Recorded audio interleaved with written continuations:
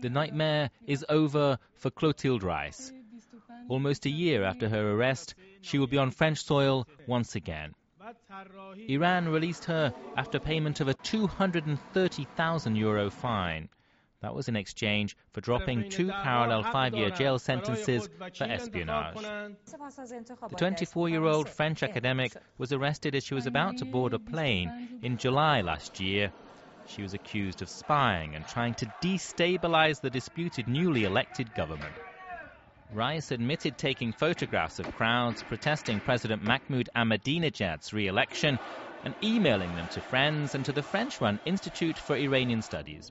She spent several weeks in prison before being released to the French embassy under house arrest. It is expected that she will arrive in Paris around midday to be greeted by her family and to attend a meeting with the French President Nicolas Sarkozy.